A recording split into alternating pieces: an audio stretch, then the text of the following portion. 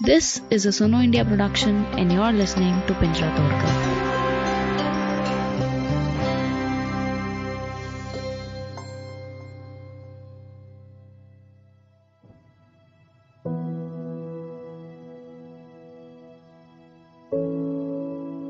मैं नुकता हूँ मैं कायनात का मरकज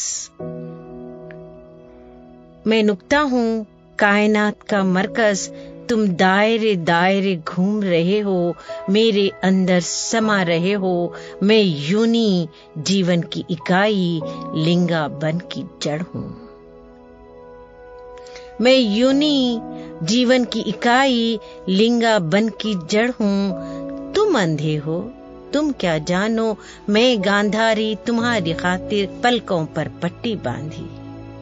मैं हूँ नूर, नूरे जहाँ इसमत की जान मैं काली माता हूँ, निर्मल हृदय की अन्नदाता हूँ। मैंने तुम सबको जन्म दिया है। मैंने तुम सबको जन्म दिया है। कोक से मेरी तुम निकले हो, फिर भी मुझसे पूछ रहे हो, मैं क्या हूँ? मैं नुकता हूँ, कायनात का मरकज।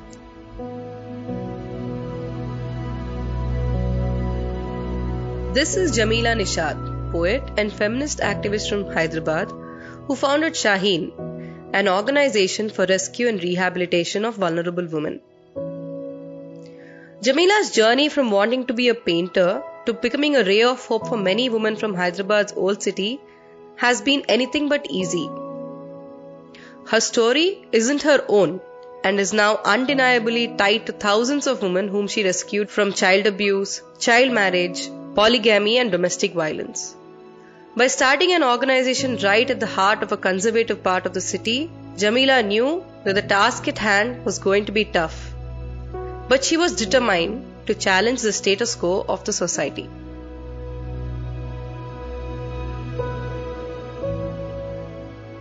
Urdu poetry में एक कपलेट है मौत तो एक दिन आनी है करदाल तो दिल मिठानी है Death will come any day then do what you want to do don't waste your time तो वो that sentence became my lifeline enough is enough now I should start working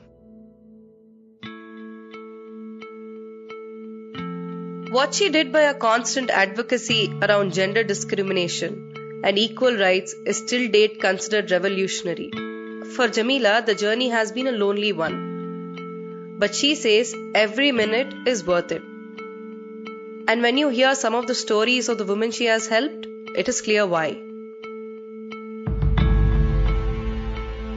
बड़ा सा पत्थर ले जाकर दे मारता है सर पर और सर फटने के बाद में उस हैवान ने ये भी नहीं देखा कि मैं चक्कर खा रही हूँ और पूरा ब्लीडिंग हो रही है सर से पैर तक खून में भीगी हुई हूँ। इक्कीस दिन के बाद जब मैं कोमा में निकल कर आई तो मैं दिन तारीख और कहा हूँ ये भी मुझे याद नहीं आ रहा था। शुरू कब हुआ था पता नहीं। एक बात याद है कि मैं छोटी थी जो दरवाजे की कुंडी बंद कर देना वहाँ तक मेरा हाथ नहीं जाता था। मैं चीख मारती थी रोती थी। मेरे आजू बाजू जो नेबर्स रहते थे वो अंकल आंटी का नाम लेती थी रो को लेकिन कोई नहीं आता था। जैसा भी था हस्बैंड चाहे जुल्म करो या चाहे कुछ भी करो, लफ्जे। बस शहर शहर ही होता है, शहर के पास रहना डिवोर्स नहीं लेना, भाई का मतलब था वो। तो बात सही, मैं बोली, नहीं भैया, देखो, माहौल खराब है नहीं, माहौल खराब बनाया जा रहा है। बस अपन ताकत बनाए तो हर चीज़ से अपन दुनियादारों से भी लड़ सकते, अपने हक के लिए। अपन कुछ गलत तो नहीं करे ना, बस अपना हक मांग रहे।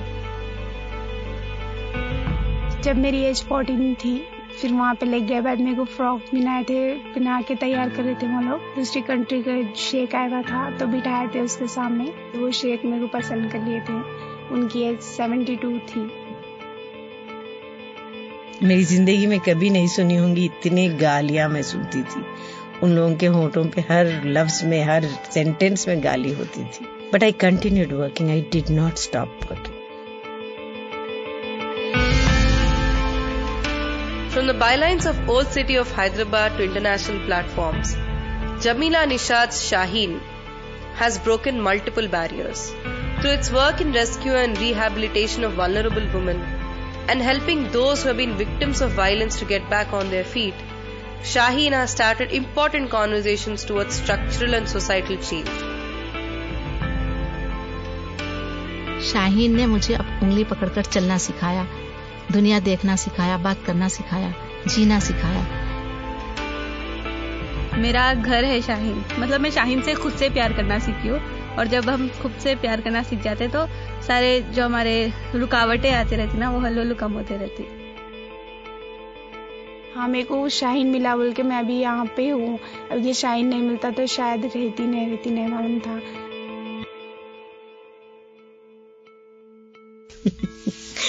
I keep going because that gives me life. You can't believe I laugh more in Shaheen than anywhere else, however painful that laughter can be.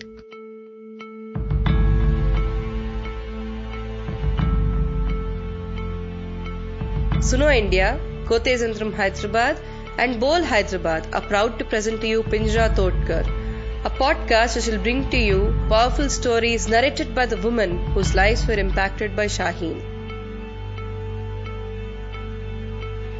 You can listen to this podcast, Pinjra Todkar, on our website, sunoindia.in or any podcasting app of your choice. This podcast will also be present on Goite Zentram Hyderabad and Bol Hyderabad's website.